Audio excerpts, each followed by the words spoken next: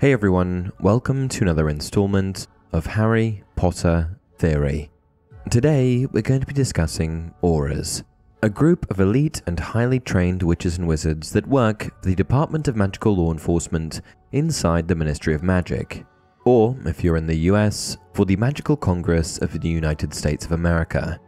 Comparable to, say, the Secret Service in the Muggle world, Aurors are responsible for investigating and handling any and all crimes pertaining to dark wizards and dark magic. Aurors are the wizarding world's best defense against the practitioners of the dark arts. We're well versed in offensive magic because our very lives depend on it. It takes courage, wit, and guile. Not many have the stomach for it. Do you? Aurors play a crucial role in maintaining peace and combating dark forces in the wizarding world, serving as an essential pillar of magical law enforcement. They stand as a symbol of courage, skill, and unwavering dedication. The origins of Aurors trace back to the tumultuous period of the 18th century, when the wizarding world faced numerous threats and internal conflicts. This era, marked by dark wizard supremacy and oppression, laid the foundation for the formation of the Auror profession. As wizards and witches became increasingly concerned about the misuse of magic, an urgent need arose for skilled individuals who could safeguard the magical community and bring justice to wrongdoers. From quelling goblin rebellions to investigating the illegal trade of magical creatures, the Aurors were the closest thing to a standing army that the ministry would ever mobilize. But for a long time, the duties of an Auror, the apprehension of dark wizards and other criminals, was just grouped into the role of other ministry officials. That meant other members of the official wizarding government especially those within the Department of Magical Law Enforcement, fulfilled the day to day tasks that Aurors would eventually do. But thanks to the work of Eldritch Diggory, the Minister for Magic at the time, the jobs of wizards and witches at the Ministry of Magic eventually became more specialized. And instead of bullying your average office worker into enforcing magical laws, Diggory created the Auror Office following his launch of the first ever Auror recruitment program. And ever since that fateful day in the early 18th century, the Aurors have gone on to become one of the most feared and beloved aspects of the Ministry of Magic. Today, several centuries later, we're going to be honoring the Aurors of the wizarding world by taking a look at each one by name and recognizing their contributions to the magical community as a whole. Taking things a step further, I'm also going to be ranking them by their perceived magical ability, this list will include Aurors working for the Ministry of Magic in the UK, as well as US Aurors working for the Magical Congress for the United States of America. It will also include names from all Wizarding World material. For some of these names, I could write a book full of information, but for others, I really had to scrape the barrel, so bear with me. There's a fair bit of ground to cover here, so let's dive in. Venusia Crickley was a competent and likable British witch that served as Minister for Magic from 1903 to 1912. However, prior to her service as minister, Venusia worked in the Auror department. Tragically, Venusia died at a relatively young age from a mandrake related gardening accident. Aesop Sharp's partner, an unnamed wizard who we know very little about, was, as you may have guessed, the crime fighting partner of British wizard Aesop Sharp. This wizard was killed when he and Aesop tracked a suspect to a harbour in Scarborough, where they were ambushed. Mordecai Berrycloth was a British wizard employed by the Ministry of Magic under then department head Harry Potter. Berrycloth was described as being charisma impaired, suggesting that he was a rather dull individual. However, he was quite knowledgeable in terms of the art of spellcasting. Achilles Tolliver was an American wizard who worked for the Magical Congress of the United States of America in the 1920s. Tolliver worked alongside Porpentina Goldstein, whom he briefly dated. Very little is known about Tolliver or his abilities. Brownfoot is a relatively minor character in Harry Potter lore who is part of the squad of Aurors stationed in Hogsmeade. Brownfoot, along with a few others, were placed there in order to help heighten security at Hogwarts during the 1996 to 1997 school year. Savage was part of the same entourage stationed in Hogsmeade to protect Hogwarts. It can be safely assumed that, due to the importance of their mission, all of the wizards stationed in Hogsmeade had an extensive arsenal of offensive and defensive spells, as well as a considerable amount of experience dealing with dark wizards. John Dawlish was a British Auror working for the Ministry that could often be seen by the side of Cornelius Fudge. He's primarily known for his persistent attempts to take care of Dumbledore under the orders of the Ministry of Magic. Despite his dogged determination, Dawlish is often outsmarted and overpowered by Dumbledore and other skilled wizards. Some feel that his repeated failures highlight his lack of exceptional skill and strategic thinking as an Auror. However, Dawlish has been described by Dumbledore himself as an excellent Auror. I'm of the impression that he was just given particularly difficult assignments. After all, Dumbledore is the most powerful wizard of all time. Neville Longbottom, a Gryffindor student at Hogwarts, grew from an initially timid and clumsy young boy into a courageous and formidable wizard, undergoing a significant amount of character development throughout the series. Neville is known for his proficiency in herbology and his ability to stand up against dark wizards, exemplified by his role in the Battle of Hogwarts. After graduating from Hogwarts and an impressive display at the Battle of Hogwarts, Neville pursues a career as an Auror. In addition to becoming an Auror, Neville also follows his dreams by becoming a professor of herbology at Hogwarts. Ron Weasley, one of Harry's closest friends and member of the Weasley clan, joins the Auror department at the Ministry of Magic after the Second Wizarding War. Although Ron occasionally struggles with self confidence, he possesses a strategic mind and showcases bravery during crucial moments. Ron's skill set includes proficiency in strategic planning, as well as his proficiency in wizard chess, which indicates his ability to think ahead and make calculated decisions under pressure. His unwavering commitment to doing what is right and his ability to remain cool under pressure make him an effective Auror. After many years as an Auror, Ron eventually leaves his post to join his brother George in operating Weasley's Wizarding Wheezers. Williamson was an Auror only briefly in the Harry Potter series. Not much is known about his background or specific accomplishments as an Auror. He was described as wearing scarlet red robes and sporting a long ponytail when Harry Potter first met him. Notably, he was the first Auror to see Lord Voldemort just before he fled the Ministry of Magic in 1996 after the Battle of the Department of Mysteries. Following this encounter, he was sent along with Dawlish to go and deal with the captured Death Eaters. To me, the importance of the task to which he was entrusted suggests that he was quite a talented wizard. Serana Wilkinson was an Auror who served the Magical Congress of the United States of America. A gifted spellcaster, she notably provided spellcasting tips to members of the Statute of Secrecy Task Force in order to help them better utilize the weakening hex in combat. An international visit from the American Auror, Serana Wilkinson, leaves you with some very useful tips, increasing the amount of damage done with a successful critical cast. Alice and Frank Longbottom were Aurors and members of the original Order of the Phoenix. They were also the mum and dad of Neville Longbottom. As Aurors, both Alice and Frank were highly accomplished and highly respected, known for their bravery and skill in combat, as well as their proficient use of defensive magic. Unfortunately, after their capture and torture by Death Eaters, Alice and Frank were left permanently incapacitated. Their tragic end serves as a reminder of the dangers and sacrifices that Aurors face in the line of duty. The original 12 were a group of 12 wizard volunteers from the United States who trained as Aurors to serve the Magical Congress of the United States of America in the late 17th century, things were tough for magical people in what would later become the United States. It was a particularly hostile environment. Scourers, nefarious bounty hunters, and crooks roamed the continent, preying on their fellow magical beings for personal gain. On top of that, the area was teeming with wizarding criminals who had fled to America from Europe, hoping to stay clear of authorities. Because the region had no established form of law enforcement, it made it an easy place to escape to. But then came the Salem witch trials, which tipped the scales.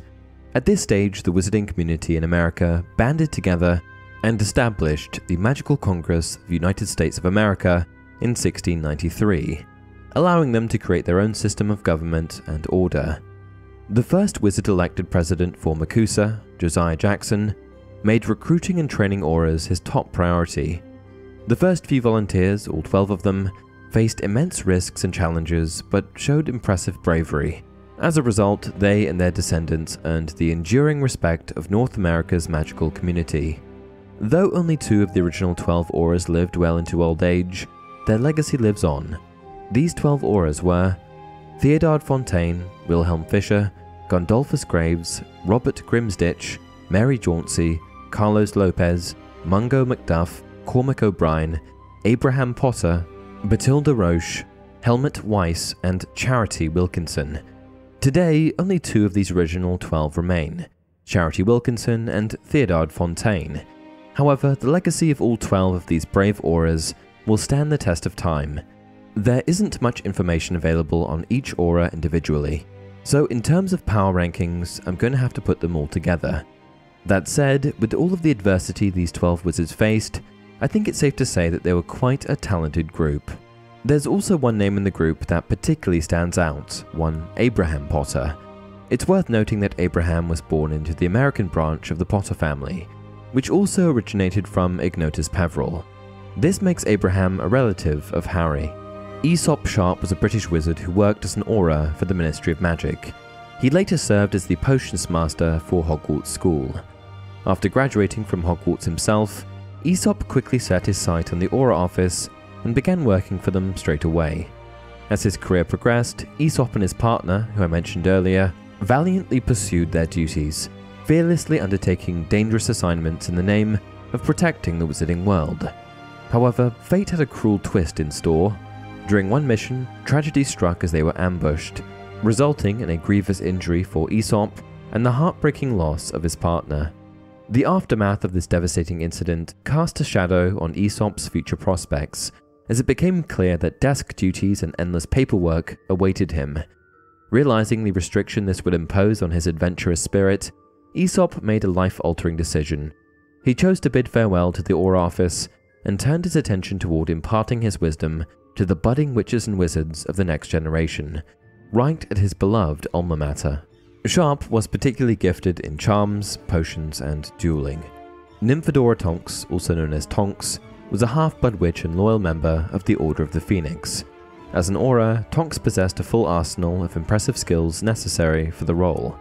One of her most notable abilities was being a Metamorphmagus, allowing her to change her appearance at will. This talent made her a valuable asset in undercover operations and gathering crucial information while remaining undetected. Tonks also showcased expertise in defense against the dark arts, known for her proficiency in a multitude of defensive spells. Throughout her career, Tonks demonstrated bravery, courage, and a willingness to take risks, earning her the admiration and respect of her colleagues. Despite her occasional clumsiness, she didn't let it hinder her effectiveness as an Auror and remained determined in her duties. Cass Carneros was an American witch and the captain of Aurors for the Magical Congress of the United States of America in the 2020s. Unfortunately, there isn't much available information out there on Cass. However, we do know that she was in charge of training other Aurors in the art of dueling. We can also safely assume that, since she came into a position of authority within MACUSA, that she served with some sort of distinction. For these reasons, I've decided to place her higher on the list. E.A. Lemus was an American wizard who worked as both the Federal Identity Commissioner and Chief Auror at the Magical Congress of the United States of America. The former role involved keeping records of MACUSA employees and certifying employee identification. As Chief Auror, they were responsible for overseeing the work of American Aurors. Based on the amount of responsibility on E.A. Lemus's shoulders, it's fair to assume that he was a fairly accomplished wizard in his own right. MP Carneros was an American wizard and captain of Aurors the Magical Congress of United States of America. MP was likely related to Cass Carneros. Like some of the others on this list, little is known about Carneros other than the fact that he attained the rank of Auror Captain. For this reason, he's earned a higher position on this list. ML Minus was an American wizard who hit the top of the totem pole and achieved the highest honor rank of Auror Commissioner within the Magical Congress of the United States of America. Given the responsibility associated with this role, it's likely that ML- was an incredibly accomplished Auror with a sharp mind and extensive skill set. Harry James Potter, the Chosen One, is a legendary figure in the wizarding community.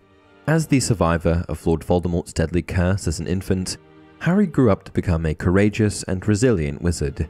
He played a pivotal role in the defeat of the Dark Lord during the Battle of Hogwarts, eventually becoming an Auror to continue fighting against dark forces and ensuring the safety of the magical world.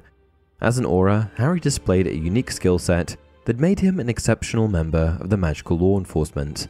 From his impressive dueling skills to his versatile spellcasting abilities, Harry possessed the prowess of a formidable wizard. What truly set Harry apart, however, was his immense bravery and unwavering determination. He never shied away from dangerous missions or took the easy path. Harry fearlessly faced the unknown, embracing the responsibility to protect his fellow witches and wizards. This resilience and courage made him a respected Auror and a symbol of hope within the magical community. Furthermore, Harry's experiences as the boy who lived granted him invaluable knowledge about dark magic and the workings of Voldemort's followers. This insight allowed him to understand the mindset and strategies of those he pursued as an Auror, making him a valuable asset in the fight against dark forces. During his time as an Auror, Harry served with so much distinction that he was promoted to head of the Department of Magical Law Enforcement at the Ministry of Magic, a feat he achieved at a relatively young age. However, despite Harry's illustrious track record, he did get an awful lot of help from the people around him. He also just had a lot of plain old good luck. For these reasons, he isn't higher on the list. Porpentina, or Tina Goldstein, was a gifted Auror and a former investigator for the Magical Congress of the United States of America, MACUSA. She was dedicated to her job and showed remarkable bravery during her time as an Auror, displaying immense skill in dueling and non-verbal magic. However, Tina's passion for justice occasionally led her to take risks that got her into trouble. Despite some setbacks and challenges in her career as an Auror, Tina remained a fierce and determined fighter. She worked tirelessly to protect the wizarding community. As far as magical abilities are concerned, Tina had the full arsenal. She was versed in charms, transfiguration, divination, defense against the dark arts, apparition, and more. She even held her own, momentarily, in a duel against Gellert Grindelwald, though I'm not sure Grindelwald was exercising much of his power. Percival Graves was an American wizard who had a distinguished career as an Auror, eventually becoming the Director of Magical Security and the head of the Department of Magical Law Enforcement at the Magical Congress of the United States of America. He was a member of the influential wizarding Graves family, and he followed in the footsteps of his ancestor, Gondolphus Graves, who was one of the original 12 Aurors of MACUSA. As an Auror, Percival Graves possessed a formidable skill set that made him a highly effective and respected member of the magical law enforcement community. He demonstrated exceptional knowledge and expertise in enforcing magical law, upholding justice, and protecting the wizarding world from dark forces. He was well known for his astute observation skills, strategic thinking, and his ability to analyze complex situations. However, as powerful as Graves was, he was no match for the dark wizard Gellert Grindelwald, who successfully impersonated him in the Fantastic Beasts film.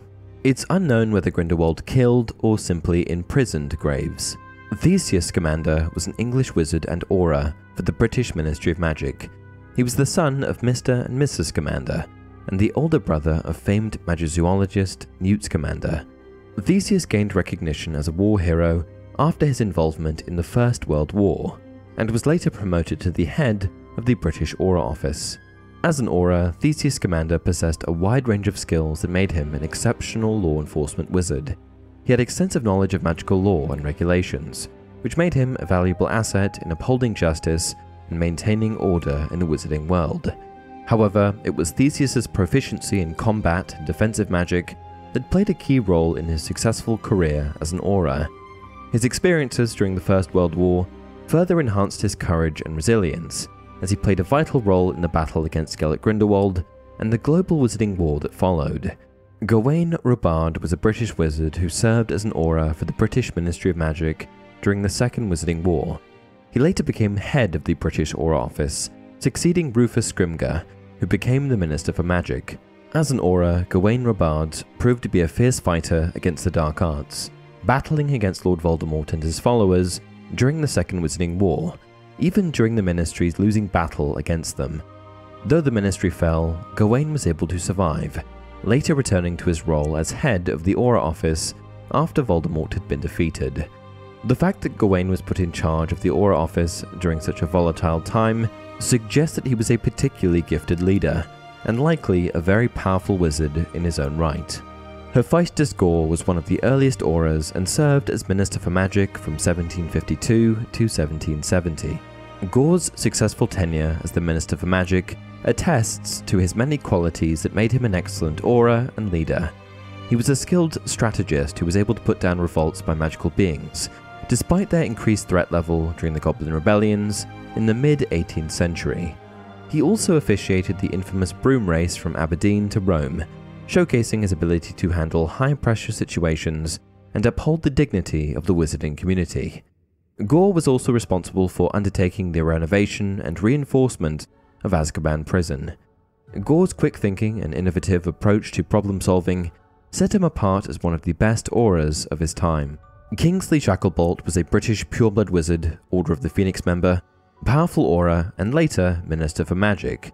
As a high ranking Auror, Kingsley displayed a very powerful and balanced arsenal of magical capabilities. Shacklebolt's fellow Order members held him in high regard, and even Lord Voldemort himself considered Kingsley to be a powerful wizard.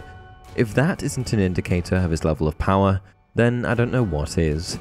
Shacklebolt exhibited natural cunning, outstanding dueling ability, full defense against the dark arts proficiency, charms mastery, transfiguration mastery, potions mastery, herbology mastery, apparition mastery, flying mastery, and more. He truly was a master of all, and was able to comfortably hold his own against at least two Death Eaters at once. In fact, during the Battle of the Seven Potters, Shacklebolt was chased by five Death Eaters, and even though he was primarily focused on protecting Hermione, Shacklebolt was able to stun two of them and escape. As far as Aurors come, Kingsley is one of the best. Rufus Scrimgeour was a British pureblood wizard, veteran Auror, and later Minister for Magic. Scrimgeour spent most of his life as an Auror, defeating dark witches and wizards for years, and it was through years and years of experience that Scrimgeour came to achieve his level of magical power. Scrimgeour was, in Dumbledore's words, a man of action, and was far more decisive than his predecessor, Cornelius Fudge. Before becoming Minister for Magic, Rufus was the head of Aurors. This title alone speaks to his ability to handle himself, his level of expertise, and his inherent magical capability. As head of a division that focuses on capturing dark wizards, we can only assume that his magical proficiency was truly a step above those underneath him. In perhaps the most relevant testament to Scrimgeour's capabilities, he was able to put up a valiant effort against the Dark Lord, Voldemort, one of the most powerful wizards to have ever lived. Though Scrimgeour was defeated, giving someone as powerful as Voldemort a fight is an extremely notable accomplishment in and of itself. Last but certainly not least, we have Alastor Mad Eye Moody. Moody was a Scottish pureblood wizard and is considered by many to be the most famous Auror of all time. He was an Order of the Phoenix member, Dark Wizard Catcher, and Warrior. Moody served with great distinction during the First Wizarding War, losing an eye, leg, and nose in battle against evildoers. Moody is personally responsible for a large number of the witches and wizards in Azkaban, and this earned him quite the reputation amongst the Dark Wizard community. Alastor Moody was hired as Defense Against the Dark Arts professor by Dumbledore in 1994, but before starting his new posting was ambushed in his home by Barty Crouch Jr. and Peter Pettigrew, Though he fought valiantly, the surprising nature of the attack led to his eventual downfall, and he was trapped inside of his very own magical trunk. It is my personal opinion that Barty Crouch Jr. is one of the most powerful Death Eaters of all time, and even though we don't see him exercising his magical capabilities too much, I think that he had a lot more in him than what we were shown. For this reason, it makes sense that, along with Pettigrew, Crouch Jr. was able to capture the revered Alastor Moody. Moody was incredibly brave, but also extremely powerful, particularly in his prime. Many feel as though his abilities may have peaked during the First Wizarding War, and that he had dropped down a peg by the time the Second Wizarding War came around, the result of years of hard battling. Similar to Shacklebolt, Moody was regarded as one of the most powerful members of the Order of the Phoenix by Lord Voldemort himself. For this reason, Voldemort suspected that Moody was likely the wizard protecting Harry during the Battle of the Seven Potters, and was initially targeted by Voldemort for this reason. It was only after Moody was defeated that Voldemort pursued Shacklebolt, which tells me that Voldemort likely felt that Moody was the more powerful of the two. Moody's magical arsenal was not limited in any way, and he had no holes in his armor. He was a master of dark arts, defense against the dark arts, dueling, charms, transfiguration, potions, herbology, apparition, flying, non-verbal magic, and even occlumency. For all of the reasons listed above, I feel that he was the most powerful Auror of all time. And that's it for today's video. Through this comprehensive exploration of the power and prowess of every Auror in the wizarding world, we have delved deep into the magical abilities, skills, and achievements of these brave defenders of the wizarding community. From the legendary Aurors who fought in the First Wizarding War, to the modern day heroes who battled against the resurgence of dark forces, no Auror has been forgotten. Ranking Aurors can be a daunting task, as each individual brings their own strengths and weaknesses to the table. Some possess exceptional spellcasting abilities, while others shine in strategic thinking and leadership. There are those who excel in combat and dueling, and others who specialize in the study and containment of magical creatures. The diversity of skills amongst Aurors makes it challenging to definitively determine who is the most powerful, so in that respect, I've just tried my best. How would you rank these powerful witches and wizards? Let me know down in the comment section below. Until next time, remember, it does not do to dwell on dreams and forget to live.